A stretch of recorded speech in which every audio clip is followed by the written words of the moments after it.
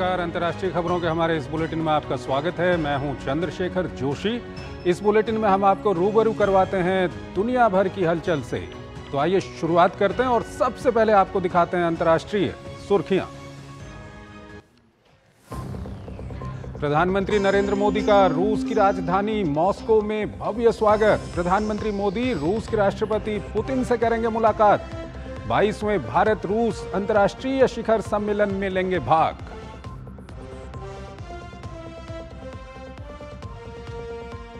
NATO बैठक से एक दिन पहले ताबड़तोड़ हमलों से दहला यूक्रेन। यूक्रेन के पाँच शहरों में हुए रूसी हमलों में कम से कम 36 लोगों की मौत।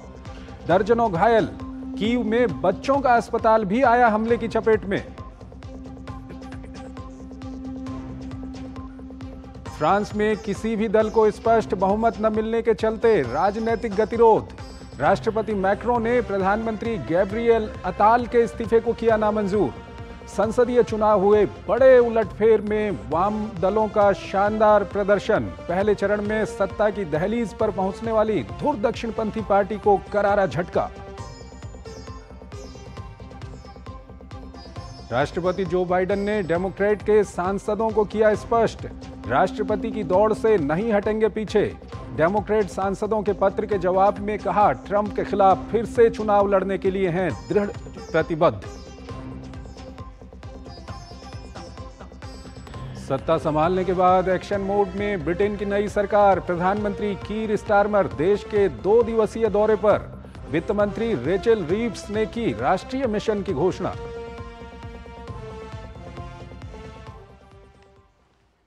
और आइए सबसे पहले आपको लिए चलते हैं यूरोप की ओर।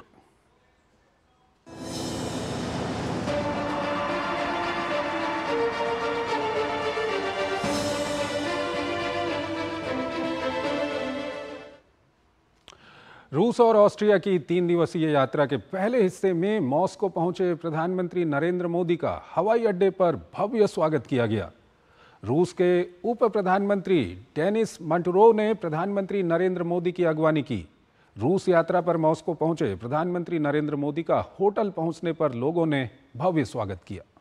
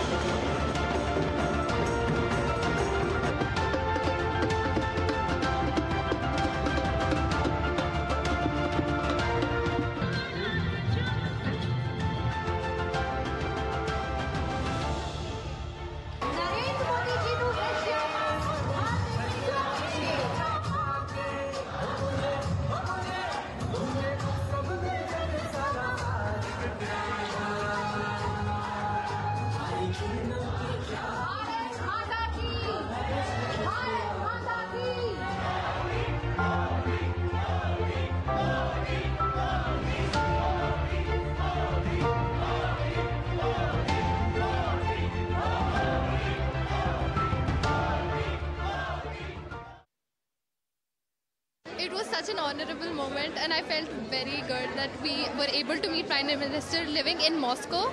I feel very grateful to meet him and get this opportunity uh, as a student in Moscow. very happy to see him live. He has a very vibrant aura, and I think it motivated me. नज़दीक से देख के बहुत अच्छा लगा बच्चे खुश है बच्चों से मिले बच्चों की बात सुने इससे बड़ी बात और क्या हो सकता है मॉस्को में भारत के लिए गौरव की बात है कि हम अपने प्रधानमंत्री के तीसरे टेन्योर पर उनको यहाँ देख पा रहे हैं और उनके नेतृत्व में हम भारत को बहुत विकसित होते हुए देखना चाहते हैं। भारत और रूस के बीच मित्रता का संबंध सदा बरकरार रहेगा, ये उसका प्रतीक है। धन्यवाद।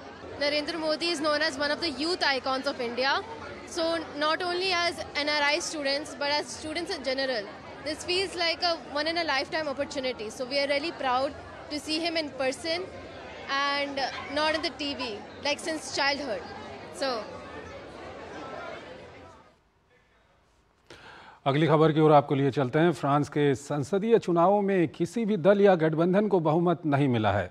हालाँकि इन चुनावों में न्यू पॉपुलर फ्रंट गठबंधन को सबसे ज़्यादा सीटें मिली हैं। किसी भी राजनीतिक दल को पूर्ण बहुमत नहीं मिलने के कारण फ़िलहाल राजनीतिक गतिरोध बना हुआ है। माना जा रहा है कि इस माहौल में नए प्रधानमंत्री और सरकार के गठन के लिए हफ्तों से लेकर महीनों तक राजनीतिक बातचीत जारी रह सकती है। ये अनुमानों और संभावनाओं के विपरीत आए जनादेश का जश्न है। फ्रांस के संसदीय चुनाव में बड़े उलटफेर करने वाले लेफ़्ट गठबंधन के समर्थक चुनाव नतीजों के बाद सड़कों पर उतर आए। हालाँकि नतीजे ऐसे हैं कि किसी भी पार्टी या गठबंधन को स्पष्ट बहुमत नहीं है। फिर भी न्यू पॉपुलर फ्रंट गठबंधन के बड़े दल के रूप में उभरने के बाद वो खुद को सरकार बनाने के करीब मान रहे हैं। दूसरे चरण के चुनाव नतीजों पर नज़र डालें तो पाँच सदस्य सदस्यीय संसद में वाम दलों के गठबंधन, न्यू पॉपुलर फ्रंट एक जबकि माकरो के मध्य मार्गी गठबंधन एनसेंबल के एक उम्मीदवार जीतने में सफल रहे हैं। दक्षिणपंथी नेता मरीन लेपेन की धुर दक्षिणपंथी नेशनल रैली पार्टी और उसके सहयोगियों को पहले दौर के चुनाव के बाद जीत की उम्मीद थी। हालाँकि वो तीसरे स्थान पर हैं, उन्हें सिर्फ़ 143 सीटें मिली हैं। वहीं रिपब्लिकन और दक्षिणपंथी पार्टियों को 60 सीटें मिली हैं। फ्रांस की संसद नेशनल असेंबली में बहुमत का जादुई आंकड़ा दो सौ नवासी है। किसी भी राजनीतिक दल को पूर्ण बहुमत नहीं मिल पाने के कारण फ़िलहाल राजनीतिक गतिरोध का सामना है। नए प्रधानमंत्री और सरकार के गठन के लिए हफ्तों से लेकर महीनों तक राजनीतिक बातचीत जारी रह सकती है। सरकार बनाने में समय लगेगा। हम जानते हैं कि प्रतिकूल परिस्थितियों से कैसे निपटना है। हम जानते हैं कि दूसरों के साथ कैसे काम करना है और हम चार सप्ताह से यही कर रहे हैं। सोमवार को फ्रांस के प्रधानमंत्री गैब्रियल अताल ने अपना इस्तीफा राष्ट्रपति मैक्रो को सौंप दिया, लेकिन उन्होंने इसे मंजूर नहीं किया। अताल ने बताया कि मैक्रो ने उन्हें पद पर बने रहने के लिए कहा है। नेशनल रैली के अध्यक्ष ने पार्टी को मिली ऐतिहासिक बढ़त को महत्वपूर्ण बताया है। हालाँकि नतीजे उनकी उम्मीदों से काफ़ी कम रहे। पार्टी अध्यक्ष और नेशनल रैली की तरफ़ से प्रधानमंत्री पद के उम्मीदवार जार्डन बर्डेला ने राष्ट्रपति माक्रो पर फ्रांस को अनिश्चितता और अस्थिरता में धकेलने का आरोप लगाया है। वहीं वाम गठबंधन एनएफपी में वामपंथी, फ्रांस, अनबोर्ड पार्टी, उदारवादी, socialist party, green ecologist party, French communist party, वामपंथी, पैलेस पब्लिक और दूसरी कई छोटी पार्टियाँ शामिल हैं। इस गठबंधन के सभी दलों ने मिलकर कोई नेता नहीं चुना था। फ्रांस के पीएम के लिए सबसे मज़बूत नाम जीन ल्यूक मेलेचॉन को बना जा रहा है। उनकी पहचान एक तेज तर्रार नेता की है। फ्रांस के अनबोर्ड गठबंधन में सबसे बड़ी पार्टी है। लोकतांत्रिक ढांचे में जब कोई राजनीतिक गुट चुनाव में आगे बढ़ता है तो उन्हें सरकार बनाने के लिए कहा जाता है जबकि मैक्रोन के लिए ये निराशाजनक है। उनका गठबंधन चुनाव हार गया है। इस चुनाव में महिलाओं के प्रतिनिधित्व में 2022 के मुकाबले एक दशमलव तीन प्रतिशत की गिरावट दर्ज की गई है। पिछली संसद में ये आंकड़ा 36 फ़ीसदी का था। 2017 में सबसे अधिक अड़तीस दशमलव आठ प्रतिशत महिलाओं की नुमाइंदगी थी। फ्रांस के संसदीय चुनाव के पहले दौर के जारी सर्वेक्षणों में देश की राजनीति में धुर दक्षिणपंथी पार्टियों को बढ़त के अनुमान लगाते हुए कहा गया था कि वे पहली बार सत्ता के करीब पहुँचते दिखाई दे रहे हैं। हालाँकि इसके बाद माकरो की पार्टी और वाम गठबंधन ने दक्षिणपंथी गठबंधन को सत्ता से दूर रखने के लिए करीब 217 उम्मीदवारों को वापस ले लिया था और इसका नतीजा भी देखने को मिला।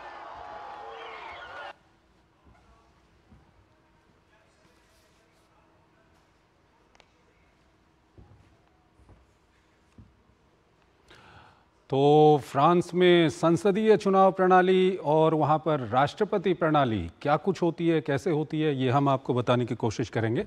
आइए आपको बताते हैं कि किस तरह से फ्रांस के अंदर जो चुनाव प्रणाली है, वो किस तरह की होती है। फ्रांस में अर्ध राष्ट्रपति प्रणाली होती है, यानी कि वहाँ पर राष्ट्रपति तो हैं ही हैं, साथ ही साथ वहाँ पर प्रधानमंत्री के अलग चुनाव होते हैं। संसद के जो चुनाव होते हैं, उसके द्वारा वहाँ पर प्रधानमंत्री का चुनाव किया जाता है। राष्ट्रपति प्रधानमंत्री को वहाँ पर नियुक्त करते हैं। तो फ्रांस की चुनाव प्रणाली के बारे में हम बता रहे हैं। और अभी वहाँ पर जो संसद के चुनाव हुए हैं, उसमें किसी भी दल को वहाँ पर अभी बहुमत नहीं मिला है। और ये माना जा रहा है कि अब आपस में बातचीत करेंगे, जो विभिन्न गठबंधन हैं, उनके पास बहुमत जुटाने की कोशिश करेंगे। तो इसमें काफ़ी लंबा समय वहाँ पर लग सकता है। फ्रांस में अगर हम राष्ट्रपति की बात करें तो वहाँ पर राष्ट्रपति जो संसद के चुनाव होते हैं, संसद के चुनाव के बाद प्रधानमंत्री की नियुक्ति राष्ट्रपति के द्वारा की जाती है। और पीएम पर घरेलू मामलों की ज़िम्मेदारी होती है। अगर हम प्रधानमंत्री की बात करें फ्रांस के अंदर तो जो प्रधानमंत्री की ज़िम्मेदारी है, वो घरेलू मामलों की ज़िम्मेदारी होती है प्रधानमंत्री के पास। चाहे वो गृह मंत्रालय हो या दूसरे मंत्रालय हो, और जो राष्ट्रपति हैं, राष्ट्रपति के पास राष्ट्रीय सुरक्षा और विदेश नीति की ज़िम्मेदारी होती है। यानी कि जो राष्ट्रीय सुरक्षा है, विदेश नीति है, प्रधानमंत्री की ज़िम्मेदारी नहीं होती है, और राष्ट्रपति वहाँ पर प्रधानमंत्री का चयन करते हैं फ्रांस के अंदर में। फ्रांस की चुनाव प्रणाली के बारे में हम बता रहे हैं, और फ़िलहाल कैसे वहाँ पर चुनाव होते हैं, ये अगर हम आपको बताएँ तो जैसा कि अभी मैंने आपको बताया कि राष्ट्रपति और संसद का वहाँ पर अलग अलग चुनाव होता है। राष्ट्रपति का अलग चुनाव होता है, संसद का अलग चुनाव होता है और राष्ट्रपति जो हैं वहाँ पर सीधे जनता के द्वारा चुने जाते हैं। फ्रांस के अंदर में और पहले चरण में किसी उम्मीदवार को 50 फ़ीसदी से अधिक वोट नहीं मिलने पर दूसरे चरण का वहाँ पर चुनाव होता है फ्रांस के अंदर में। और संसद का भी चुनाव जो है वहाँ पर दो चरणों में किया जाता है। एक चरण में संसद के चुनाव नहीं होते पहले चरण में अगर 50 फ़ीसदी से अधिक जो वोट पाने वाले उम्मीदवार हैं उन्हें विजयी घोषित किया जाता है। और अगर किसी प्रत्याशी को 50 प्रतिशत से अधिक नहीं मिलता तो फिर दूसरे चरण का वहाँ पर चुनाव कर, करवाया जाता है। और बारह दशमलव पाँच फ़ीसदी से अधिक मत पाने वाले उम्मीदवार दूसरे चरण के लिए योग्य माने जाते हैं। यानी कि बारह दशमलव पाँच फ़ीसदी से जो कम के उम्मीदवार हैं, वो दूसरे चरण में नहीं जा सकते। और सबसे अधिक वोट दूसरे चरण में जिसको मिलता है, जिस उम्मीदवार को, वो विजयी घोषित किया जाता है। फ्रांस के अंदर में, और बहुमत पाने वाले दल का नेता प्रधानमंत्री चुना जाता है। और इस वक्त की अगर हम बात करें तो वहाँ पर किसी को बहुमत नहीं मिला है। पहले चरण का जो चुनाव है, वो 30 जून, और दूसरे चरण का जो चुनाव है, वो 7 जुलाई को वहाँ पर हुआ है। और मध्यावधि चुनाव था, जो फ्रांस के राष्ट्रपति हैं, उन्होंने चुनाव बाद में होना था, लेकिन उन्होंने पहले चुनाव की घोषणा कर दी थी। मैक्रों की अगर हम बात करें फ्रांस के राष्ट्रपति की तो वो 2027 तक वो राष्ट्रपति बने रहेंगे, उनकी पार्टी को बहुमत नहीं मिला है, लेकिन वो राष्ट्रपति बने रहेंगे। और आइए अब अगली खबर की ओर हम आपको लिए चलते हैं, और जो अगली खबर है वो रूस और यूक्रेन के युद्ध से जुड़ी हुई है। रूस और यूक्रेन के बीच में युद्ध और तेज होता जा रहा है। वॉशिंगटन में होने वाली नेटो के नेताओं की अहम बैठक से एक दिन पहले कीव रूस के ताबड़तोड़ हमलों से दहल उठा? यूक्रेनी राष्ट्रपति जेलेस्की ने हमले का माकूल जवाब देने का संकल्प दोहराया है। यूक्रेनी वायुसेना ने कहा कि दिन के उजाले में किए गए इन हमलों में किंजल हाइपरसोनिक प्रक्षेपास्त्र शामिल थे, जो सबसे उन्नत रूसी हथियारों में से एक हैं। मंगलवार को वाशिंगटन में 32 देशों के सैन्य संगठन, नाटो के नेताओं की अहम बैठक से एक दिन पहले कीव रूस के ताबड़तोड़ हमलों से दहल उठा। भीषण मिसाइल हमले में कम से कम 36 लोगों की मौत हो गई है, जबकि दर्जनों लोग घायल हुए हैं। हमले में कई इमारतें ध्वस्त हो गई हैं, कई जगहों पर धुएँ के गुबार उठता देखा गया। हमले की चपेट में बच्चों का एक अस्पताल भी आया है, जिसके बड़े हिस्से को नुकसान पहुँचा है। यूक्रेन के राष्ट्रपति वोलोदिमिर जेलेंस्की ने कहा है कि रूसी बमबारी में पाँच यूक्रेनी शहरों को विभिन्न प्रकार की 40 से अधिक मिसाइलों से निशाना बनाया गया, जिससे रिहायशी इमारतें और सार्वजनिक बुनियादी ढांचे नष्ट हो गए हैं। बच्चों के अस्पताल में राहत और बचाव का काम युद्ध स्तर पर जारी है। अस्पताल की दो मंजिला इमारत आंशिक रूप से नष्ट हो गई है। मलबे के नीचे फंसे लोगों की तलाश की जा रही है। हमले के बाद कीव के मेयर ने घटनास्थल का जायजा लिया। ये पिछले कई महीनों में कीव पर सबसे बड़ी बमबारी है। विस्फोट से शहर की इमारतें हिल गई। राष्ट्रपति जिलेंसकी ने हमले का माकूल जवाब देने का संकल्प दोहराया है। बिना किसी संदेह के हम रूस के इन वहशियों को हम जवाब देने जा रहे हैं। हम आतंक के लिए रूस और पुतिन को इन हमलों के लिए न्याय के कटघरे में लाने के लिए काम करने की प्रतिज्ञा करते हैं। उधर यूएन में ब्रिटेन के दूत ने कहा है कि कीव में बच्चों के अस्पताल पर हुए हमले को लेकर मंगलवार को संयुक्त राष्ट्र सुरक्षा परिषद की बैठक होगी। वहीं यूक्रेनी वायुसेना ने कहा है कि दिन के उजाले में किए गए हमले में किंजल हाइपरसोनिक मिसाइल शामिल थी, जो सबसे उन्नत रूसी हथियारों में से एक है। किंजल ध्वनि की गति से 10 गुना अधिक रफ्तार से उड़ता है, जिससे इसे रोकना मुश्किल हो जाता है। मध्य यूक्रेनी शहर कीरवी रीह में हुए एक अन्य हमले में कम से कम 10 लोग मारे गए हैं, जबकि सैतालीस लोग घायल हो गए हैं। मैं घर पर सो रहा था। धमाके की आवाज़ सुनने के बाद तुरंत बम शेल्टर में पहुँच गया। बाद में मुझे पता चला कि इतना बड़ा हादसा हो गया। इस बीच यूक्रेनी सेना ने 38 में से 30 रूसाई मिसाइलों को मार गिराने का दावा किया है। वहीं यूक्रेन के राष्ट्रपति जेलेंस्की ने कहा है कि जंग बंद कराने के लिए हंगरी के प्रधानमंत्री विक्टर अर्बन मध्यस्थता नहीं कर सकते। उन्होंने कहा कि चीन, अमेरिका या यूरोपीय संघ जैसी वैश्विक शक्तियाँ ही इसका नेतृत्व कर सकती हैं। ऑर्बन ने पिछले सप्ताह वार्ता के लिए कीव और मॉस्को का दौरा किया था। उन्होंने सोमवार को चीन के राष्ट्रपति शी जिनपिंग से मुलाकात की और बीजिंग की अपनी अप्रत्याशित यात्रा को शांति मिशन का तीसरा चरण बताया। जेलेंस्की ने बताया कि पुतिन के साथ, ओरबन ने बातचीत को लेकर कीव के साथ समन्वय स्थापित नहीं किया था, जिसके चलते यूरोपीय संघ ने उन्हें फटका लगाया है। जेलेंस्की ने कहा है कि शांति का मार्ग कैसे हासिल किया जाए कीव अन्य देशों के प्रस्ताव का स्वागत करता है, लेकिन इसमें यूक्रेनी दृष्टिकोण विशेष रूप से दस सूत्री शांति योजना के साथ तालमेल बिठाना ज़रूरी है। यूक्रेन इस वर्ष के अंत में शांति के अपने प्रस्ताव पर विचार करने के लिए दूसरे अंतर्राष्ट्रीय शिखर सम्मेलन के आयोजन पर विचार कर रहा है। जून में इसे लेकर पहली बैठक हुई थी, जिसमें चीन ने हिस्सा नहीं लिया था। उधर वार्सा में पोलैंड के प्रधानमंत्री डोनाल्ड टस्क ने यूक्रेन के राष्ट्रपति जेलेंस्की के साथ सुरक्षा समझौते पर हस्ताक्षर किए। और इस वक्त हमारे पास खबर आ रही है कि प्रधानमंत्री नरेंद्र मोदी की रूस, रूसी राष्ट्रपति व्लादिमीर पुतिन से मुलाकात हो गई है। और इससे संबंधित जानकारी हम आपको बाद में देते रहेंगे। फ़िलहाल एक छोटा सा ब्रेक लेते हैं। एमडीएच का किचन किंग किचन में हो तो हम सब कुछ बना सकते हैं। बैंगन का भरता आलू गोभी भिंडी मसाला और भी बहुत कुछ। बात जब पीढ़ियों के लिए बनने वाले घर की हो तो ज़िम्मेदारी बड़ी हो जाती है। गैलेंट समझता है ये ज़िम्मेदारी। अब डबल एम रिब्स के साथ। गैलेंट एडवांस टीएमटी रीबार निर्माण का रियल हीरो ज़्यादा उपज और भरपूर मुनाफा भी। दोनों मिलेंगे टोरी से। एक हाथ में खरपतवार की हार। और दूसरे हाथ में ज़्यादा पैदावार। समझे आई आई एल के ट्रैक्टर ब्रांड का टोरी। अब खरपतवार होगा हक्का बक्का। बढ़ेगा मक्का। गोल्डी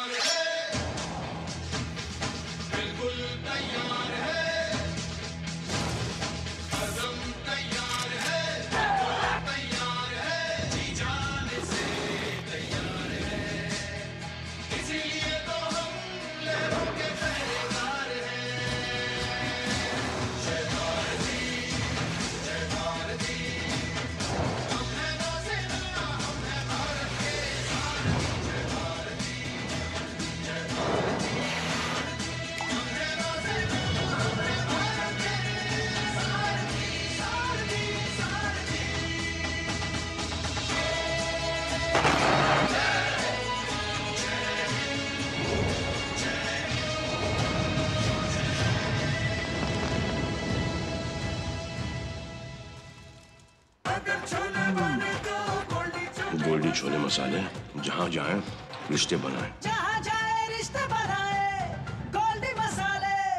मुथूट फाइनेंस से गोल्ड लोन लेते हुए कोई डाउट नहीं है क्योंकि यहाँ है पूरी ट्रांसपेरेंसी 100% भरोसा और सुरक्षा।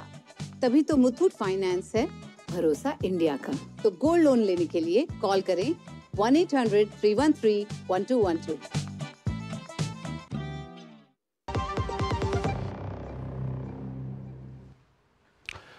स्वागत है आपका ब्रेक के बाद।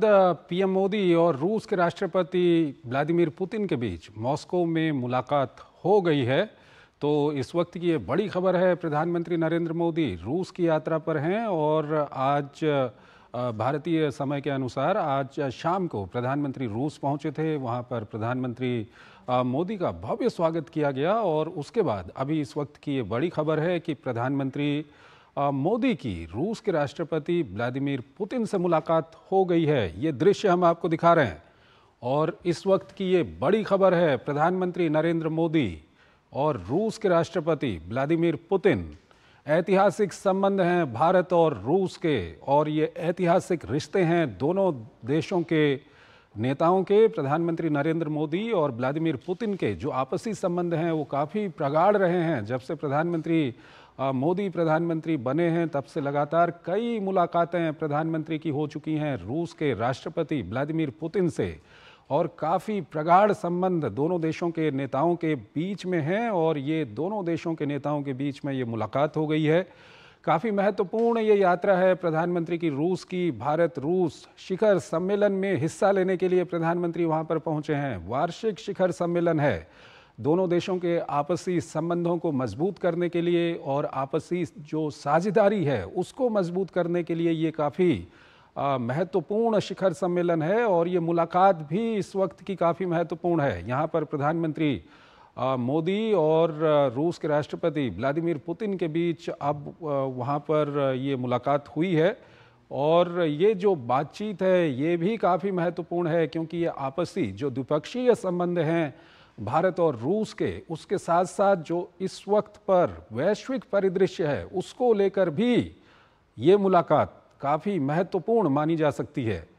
वैश्विक परिदृश्य की हम बात करें, क्षेत्रीय परिदृश्य की हम बात करें, या दोनों देशों के जो आपसी संबंध हैं, जो द्विपक्षीय संबंध हैं, उसके लिहाज से ये मुलाकात काफ़ी महत्वपूर्ण है। ये दृश्य हम आपको बार बार दिखा रहे हैं। रूस के राष्ट्रपति व्लादिमीर पुतिन और भारत के प्रधानमंत्री नरेंद्र मोदी के बीच में ये महत्वपूर्ण मुलाकात मॉस्को में।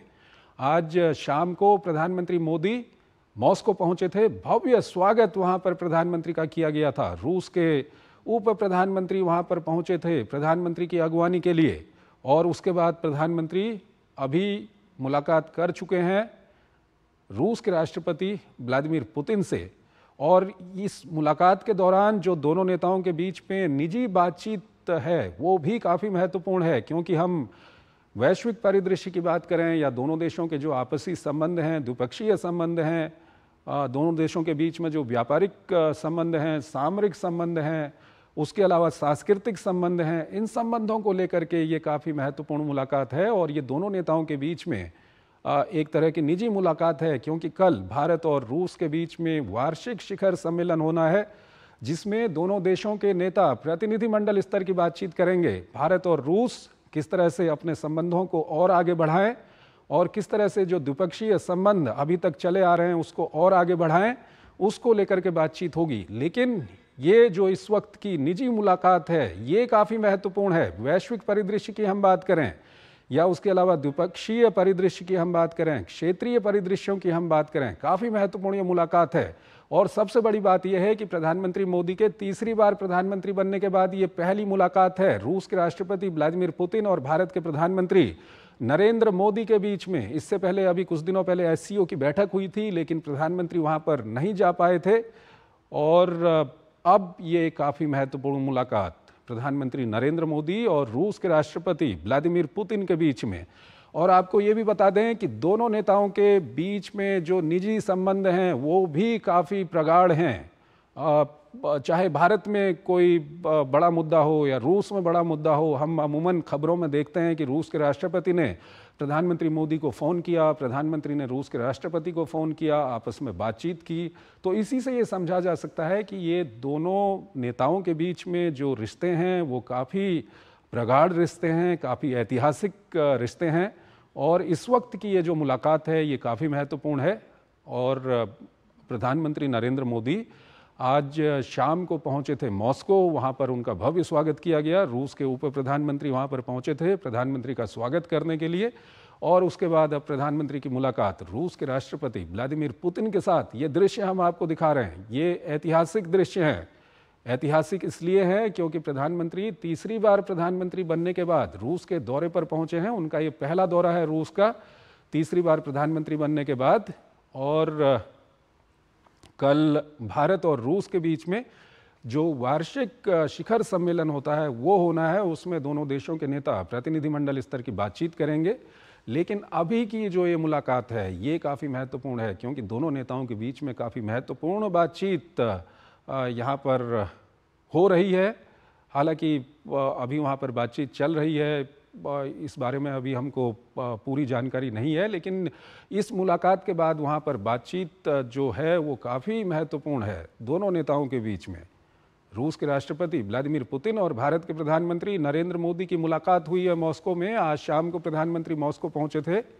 रूस की अपनी दो दिवसीय यात्रा के लिए कल भारत और रूस के बीच में वार्षिक शिखर सम्मेलन होना है। और भारत और रूस के अगर हम संबंधों की बात करें तो ये काफ़ी ऐतिहासिक संबंध रहे हैं दशकों के ये संबंध रहे हैं भारत और रूस के बीच में सांस्कृतिक जो संबंध है वो काफ़ी प्रगाढ़ हैं। इसके अलावा रणनीतिक संबंधों की हम बात करें सामरिक संबंधों की हम बात करें आर्थिक संबंधों की हम बात करें तो काफ़ी मज़बूत दोनों देशों के बीच में संबंध हैं और उस सब के बीच दोनों नेताओं के बीच में ये मुलाकात काफ़ी महत्वपूर्ण है। और ये मुलाकात इसलिए भी महत्वपूर्ण है क्योंकि हाल ही में आ, कुछ समय पहले रूस में राष्ट्रपति चुनाव हुआ था वहाँ पर वहाँ की जनता ने राष्ट्रपति चुना व्लादिमीर पुतिन को और भारत में तीसरी बार जब यहाँ पर चुनाव हुआ तो प्रधानमंत्री मोदी को यहाँ की जनता ने प्रधानमंत्री चुना। तो ये काफ़ी महत्वपूर्ण मुलाकात है। सुधीर यादव हमारे साथ जुड़ रहे हैं फ़ोन लाइन पर। आ, सुधीर मुलाकात हुई है दोनों नेताओं के बीच में अभी वहाँ पर। और आ, किस तरह की गर्मजोशी आप देख रहे हैं वहाँ पर? बिल्कुल देखिए चंद्रशेखर जिस तरीके से आपने कहा, पांचवी बार राष्ट्रपति पद के लिए चुने गए हैं व्लादिमिर पुतिन और तीसरी बार प्रधानमंत्री मोदी का कार्यकाल तीसरा है तो अपने आप में बहुत अहम है ये और जिस तरीके से दोनों लीडर्स के बीच में बॉन्डिंग है पिछले दस साल में करीब सोलह बार उनकी मुलाकात हुई है, ये अपने अपने खास मायने है। एक बॉन्डिंग दोनों लीडर्स आपस में शेयर करते हैं। और आज की बात करूँ तो आज प्रधानमंत्री यहाँ पहुँचे हैं और अभी आज शाम को, अब से थोड़ी देर बाद जो प्रेसिडेंट पुतिन है, उन्होंने प्रधानमंत्री मोदी के सम्मान में एक भोज का आयोजन किया है, प्रधानमंत्री वहाँ होंगे। और उसके बाद से कल जो का कार्यक्रम है, पूरा वो कॉम्पैक्ट है, यहाँ प्रधानमंत्री सुबह जो यहाँ के प्रवासी भारतीय हैं, उनको संबोधित करेंगे। और उसके बाद से जो बाईसवां भारत रूस शिखर सम्मेलन है, उसमें हिस्सा लेंगे। जिस तरीके की उम्मीद की जा रही है कि आर्थिक गतिविधियों को किस तरीके से दोनों देशों के बीच में तेज किया जाए किस तरीके से उनमें और ज़्यादा बढ़ोतरी की जाए, ये एक कोर एरिया रहेगा खास तौर पर। और यूक्रेन, रशिया वॉर के मद्देनजर जिस तरीके से भारत ने हमेशा से कहा है कि युद्ध किसी चीज़ का समाधान नहीं है, शांति से बैठकर बातचीत होनी चाहिए। तो इस परिप्रेक्ष्य में भी भारत जो रशिया यूक्रेन वॉर के परिप्रेक्ष्य में भी जो अंतर्राष्ट्रीय गतिविधियाँ हैं, अंतर्राष्ट्रीय परिस्थितियाँ हैं, उन पर भी जो चर्चा है, उस पर होने की संभावना है। और खास बात अभी कुछ समय पहले चंद्रशेखर कुछ भारतीय जो हैं उनको वहाँ से मिसलीड करके जो रशियन आर्मी है उसमें भर्ती किया गया था भर्ती हुए थे वो कुछ लोग लेकर आए थे। इसके खिलाफ भारत में जाँच भी हुई थी। तो ये एक ऐसा मुद्दा है जो दोनों दोनों ने, दोनों नेता हैं उनके बीच में आने और खासतौर पर भारत की कोशिश ये है कि जल्द से जल्द जो भारतीय यहाँ है वो स्वदेश सुरक्षित पहुँचे। इस बारे में बारे में भी जो राजनयिक जो सोर्सेज हैं वो हमें बता रहे कि इस समय इस बारे में भी। बातचीत होने की संभावना है। तौर पर अगर हम कहें बिल्कुल तो सबसे ज़्यादा कोशिश ये रहेगी कि जो हमारे पिछले जो करीब 21 जो हमारे शिखर सम्मेलन रहे हैं पिछला जो रहा है, उसके बीच में करीब गैप रहा है तो स्टॉक लिया जाए कि आखिर किन किन मुद्दों पर हम आगे बढ़े, रक्षा के मामले में तमाम जो दूसरे चीज़ है, इकोनॉमिक एक्टिविटीज़ को कैसे आगे बढ़ाया जाए ये सारे मुद्दे रहेंगे डिस्कशन से चंद्रशेखर। सुधीर हम आपसे ये जानना चाहते हैं कि अभी जब ये दोनों नेताओं के बीच में मुलाकात हुई है हालाँकि जो प्रतिनिधिमंडल स्तर की बातचीत है वार्षिक जो शिखर सम्मेलन है वो कल होना है।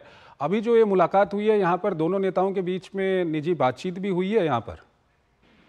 नहीं देखिए चंद्रशेखर अभी रात्रि भोज के लिए प्रेसिडेंट पुतिन ने पीएम मोदी को आमंत्रित किया तो इसमें अभी औपचारिक तौर पर कोई बातचीत नहीं होगी। ज़ाहिर तौर पर दोनों लीडर्स मिलेंगे। आ, कुछ लेकिन आ, जो औपचारिक तौर पर अगर हम बात करें तो कल सुबह से ही आ, जब प्रेसिडेंट पुतिन के साथ उनका बाईसवां शिखर सम्मेलन है तो उसमें पहले सबसे पहले डेलीगेशन लेवल टॉक्स है उसके बाद से रेस्ट्रिक्टेड टॉक्स है और पर्सनल टॉक्स भी तो ये इन मुद्दों पर वहाँ बेहतर तरीके से एक बेहतर सुलझे माहौल में जो तमाम वैश्विक मुद्दे हैं ठीक है ठीक है। ठीक है सुधीर आप वहाँ पर मौजूद हैं और डीडी न्यूज़ के दर्शकों को हम बता दें कि कल सवेरे से काफ़ी महत्वपूर्ण बातचीत दोनों देशों के नेताओं के बीच में चाहे वो प्रतिनिधिमंडल स्तर की बातचीत हो या दोनों देशों के नेताओं के बीच में आपसी बातचीत हो वो काफ़ी महत्वपूर्ण है कल। और भारतीय समुदाय को भी कल प्रधानमंत्री संबोधित करेंगे। डीडी न्यूज़ की टीम वहाँ पर मौजूद है और पल पल की जानकारी आप तक पहुंचाएगी। फ़िलहाल खबर दुनिया में आप हमारी पूरी टीम को इजाज़त दीजिए। नमस्कार।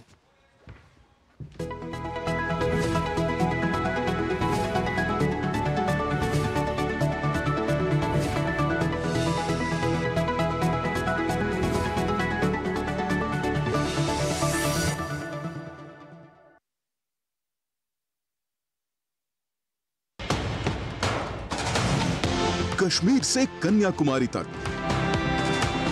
कच्छ से कामाख्या तक।